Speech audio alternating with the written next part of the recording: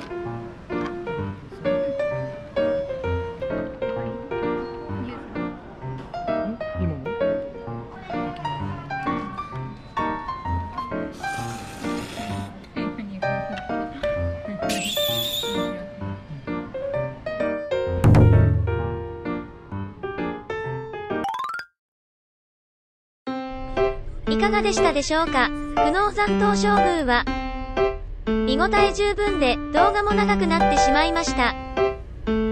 はしょってしまったところもだいぶありましたが、それはまた別の機会にでも。そして今度来る時は夜の部で大人の時間にします。ふふふ。ここまで見てくださった方ありがとうございました。良ければグッドボタン、コメント、チャンネル登録お願いします。それではまた次回の動画でお会いいたしましょう。